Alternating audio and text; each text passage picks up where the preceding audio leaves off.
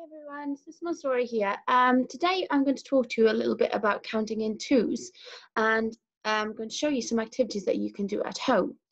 So before we begin doing that, what I would like to show you is some quick questions that you would, might like to do at home. So as I said beforehand, we will be focusing on counting in twos all the way up to 50. I would like you to try and find two more or two less. And also, I'd like you to try and challenge yourselves and see if you can spot some patterns on a number grid when you're counting in twos. So let's move on to our first activity for today. So before we begin our counting in twos, I want you to think back about what we have learned previously. So I would like you to take two minutes to have a think about what these symbols mean.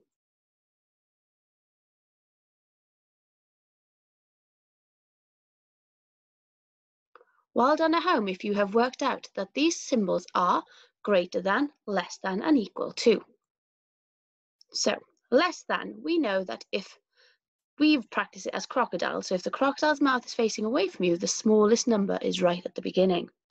Whereas then if it's more than, the number with the big mouth pointing to it is where the larger number is.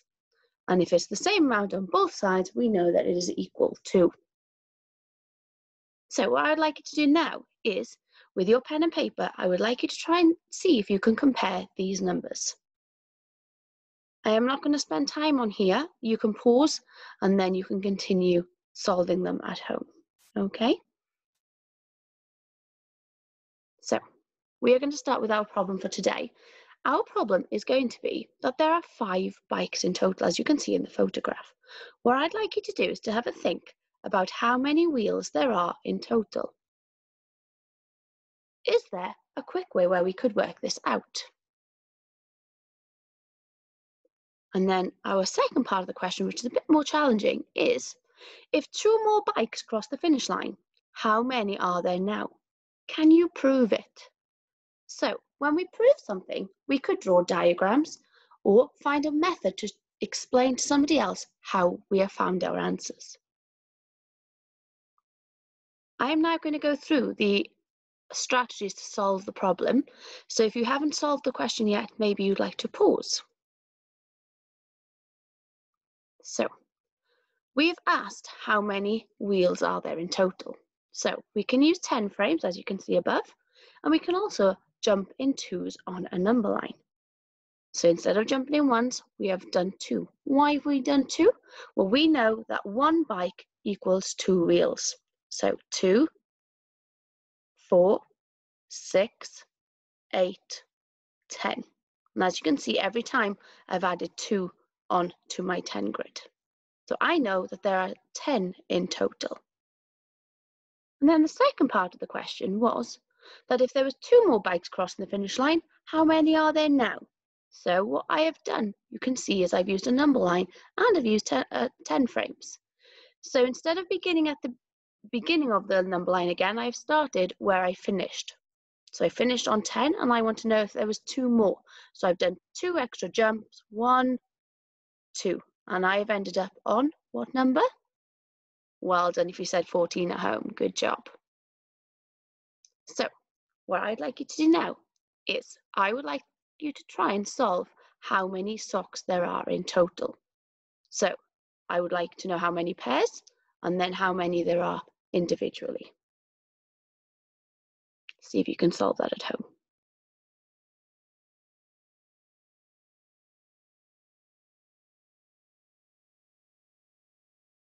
So, first of all, I'm going to count pairs. We know that pairs equals 2. So let's count the pairs together. One, two, three, four, five, six, seven, 8, 9, 10, 11, 12, 13, 14. Well done, guys. 14. Thank you for counting along at home with me. So I've written 14 pairs. Now, a pair doesn't equal 1, it equals 2. So now we are going to have to count in twos to find out how many there are in total. So let's go together. 2, 4, 6, 8, 10, 12, 14, 16, 18, 20, 22, 24, 26, 28. Well done, guys. 28 in total. Fantastic. What I would like you to do now is I would like you to go around your home and see how many pairs of socks you can find. What I'm going to ask you to do then is see if you can find a quick way of counting them. Think back to the method that we have just done previously. Okay?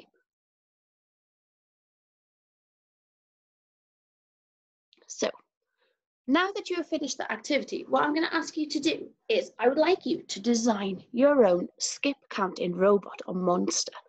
So what I'm going to do is I have a template at the bottom down here, as you can see. So I have two, a monster and a robot, and then I also have two more monsters at the bottom. If you really want to be challenging and be creative, you could design your own. What you will do is you will colour it in and design it. You will then need to make your own number track. So counting from zero, two, four, six, eight, and continue the pattern all the way along.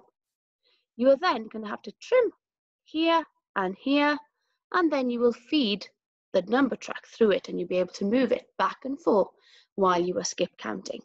You can challenge your mummies or daddies at home or your brothers and sisters to see if they know the next number in the sequence.